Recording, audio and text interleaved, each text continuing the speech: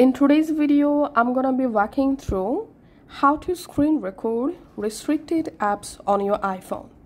So Apple blocks screen recording in some apps like banking, streaming or DRM protected apps for privacy and copyright reasons. On iOS 16 to iOS 26, there's no built-in way to bypass these restrictions.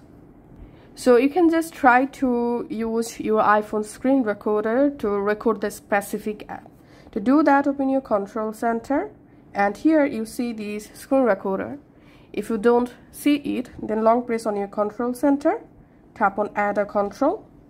All you have to need from here, you have to find out the screen recorder and then tap the add the screen recorder in your control center.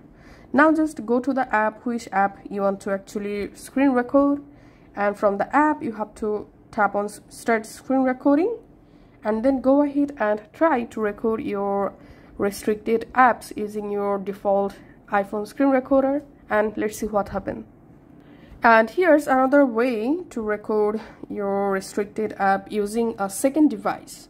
So if you absolutely need to capture what's happening, the safe method is recording your iPhone's screen with another phone or camera. Thanks for watching.